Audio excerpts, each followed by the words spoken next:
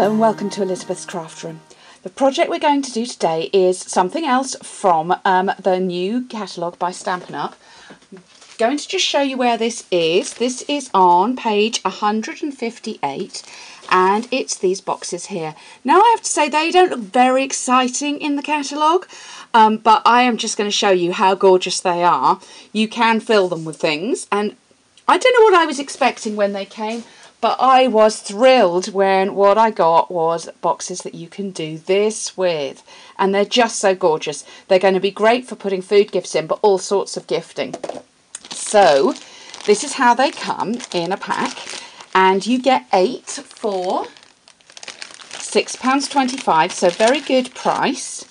And each one comes like this with its own sleeve. Now, I can't tell you how good quality these are. You just need to fold it in both directions. The folds are already there. The folds are already done for you. And you get this really strong sleeve that goes over the top. Then we have our box. Now, you could stamp on this. Um, and if you want to see how that's done, this is the same material as our gorgeous Kraft boxes. Um, so if you go searching back on my um, on my blog, you can actually see um, some examples of how that's done when it's actually stamped direct onto the box. Um, and they look beautiful stamped. But all you're going to do is you're going to put the side pieces in first and then that piece there and then you're just going to gently press that piece in and that's your box made. You can cover on the inside if you like, um, or you can just leave that like that and, and, um, and you know put your goodies in there that you're going to do. But I'm going to show you how to decorate this box. So uh, the paper I'm going to use is called Gingham Garden um, and is absolutely beautiful. I'm going to flip those over and so you can see the other side. So these come as 12 by 12 sheets. Are you going ooh? I'm certainly going ooh. I'm going to buy my weight in Gingham Garden designer paper. I think it's beautiful. So we're going to use that. And in my other um, example, I used the, um, the pink gingham there. But today I'm going to use the blue one that's diagonal. Okay, so I've just cut four pieces of this, very easy. Uh, two at six inches by one and three quarters, and two at um, two and one eighth inch by one and three quarters and I'm just going to glue those on the outside. And I like my Tombow as you know because we can just wiggle that and get it right in place. Now on my other one I did daub around the edge um, using crumb cake to give a little bit more of a vintage look on it. Um, but today just for speed with the video I'm just going to do that without and also it gives a it gives a crisper kind of finish to it it's a slightly different look. Okay.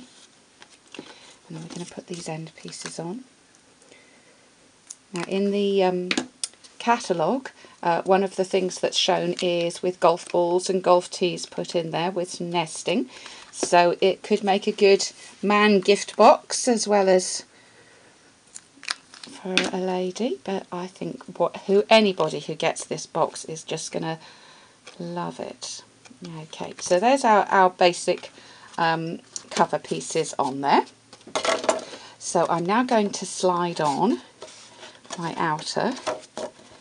And let me just get this there is a right and a wrong way because it's not exactly square. So make sure I've got a I've got the right bits in the right place. Here we go I'm making this look a lot harder than it is. It really isn't. There you go. So you get a nice tight fit.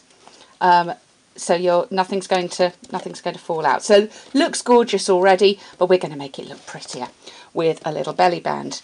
Now to do the belly band, I decided the other colour I'm going to use on this is the new uh, strawberry slush. So um, the colour of this paper is Island Indigo. So this is going to be a zingy looking box because I want those two bright colours together.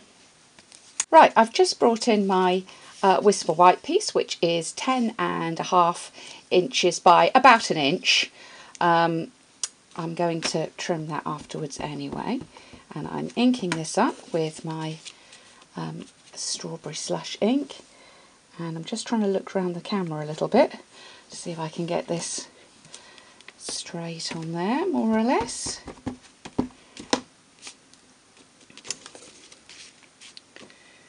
Just try and line that up again, more or less. Get it straight. There we go, that'll be fine. Okay. So let's take that piece away and I'm just going to uh, attach that first of all with some Tombow.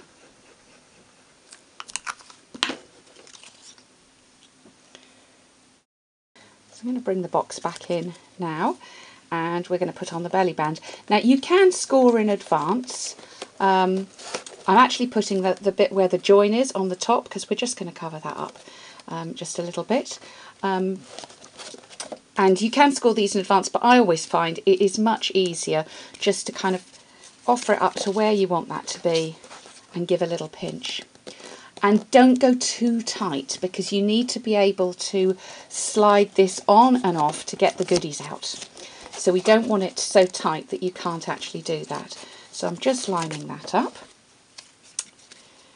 And we'll put that together with a little bit of Tombow. And then I'm going to do some um, decorations to go on the top. So we'll do that now. So the stamp set I think goes absolutely perfectly um, with this uh, project is Creatively Yours. It's got some really good kitchen ones, so deliciously made for you, handmade, um, and from the kitchen off, which is what I'm going to use today. So I'm going to use all three of those, and I'm going to stamp um, a couple of these in Island Indigo. That's from the kitchen off. Whoops, that's off the edge and handmade. I don't know if you've ever noticed this, but with this handmade one, you can actually use your um, oval um, punch just to get that perfect curve. So you don't actually have to um, hand cut that one. I always used to hand cut that. And I'm going to punch that one out with a large oval. And then we're going to, with the strawberry slush again, I'm going to stamp deliciously made for you and punch that one out. And then we're going to have some scallop ovals to layer these up and one in strawberry slush. Okay. Now I'm going to put these together.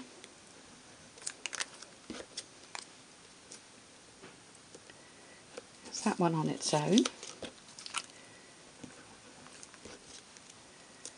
That's from the kitchen of. Right, Elizabeth. On there and and made there. And then I'm just going to put a little bit of glue on there line that one up like that. So I like that, that kind of effect on those. So I'll just put those to one side. Right, to make the bow that goes on the top here, um, this is actually stamped again. So I've pre-stamped some in Island Indigo. And what you need, I'm, I'm doing with mine about three uh, little rows there. That's the width I'm going for. And this is, tell you the length, about five and a half inches um, of Whisper White. I'm just going to cut that out. There we go. And then what I'm going to do is to join these in the middle. So a little bit of glue at the bottom there. And they're going to join. And I'm not worried about those little white bits in the middle because we're going to cover those up. So we'll just one on there. There we go. And a bit there. And that's going to be the piece that actually makes our bow. Then I'm going to take another piece here's one I did earlier. And this is going to be my tails for my bow. So I've cut that in, cut a little piece off, and I'm just snipping. You can do that with a square punch if that's how you find it easier. I just like to snip up from the bottom into the middle and it gets quite an even look. I'm going to just put a little bit of glue, a little bit too much glue, and pop that on there. And then the final bit to make that look a bit neater still is to take some of the piece that we had left over there with just two little stripes on it. Don't need very much. And we're going to wind that around and glue that at the back. So I'll just snip the amount that I need. And then just pop a little bit more glue on there. And that will wrap round and make that neat. I'm going to pop my fingers inside, give that little bit more of a, a bow look to it. So we're all ready to go. So final thing is going to put the belly band on. Again I'm just going to glue, remember not to go too tight so that you can still slide it off. And I'm gluing that at the bottom. Where to stick, there we go. I don't think I folded the uh, folded it tightly. Let's just go and do that again. Okay. So the next bit we're going to do is to actually assemble it all. So first we're going to stick the belly band on, um, a little bit of glue, and I'm going to pop that on. Hold that just for a moment till that glue's stuck.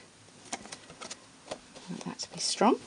Um, and then we're going to take our bow and I'm going to use a couple of dimensionals just to pop that up just a little bit. And do you remember we've got the join there? I'm going to put that across over the top of that join. That cute? Okay. Um, and then I have I have some clips here. Aren't they sweet? Now these are the um, Essentials Hardwares clip um, we've got one with an arrow, one with, my fingers all sticky, um, one with um, a little paper clip, and I believe there's a third one, there's a little and there as well, ampersand there. And I'm going to put my clip on, and I'm going to clip those there. How cute is that with that little paper clip? And then I'm going to put my Deliciously Made For You there.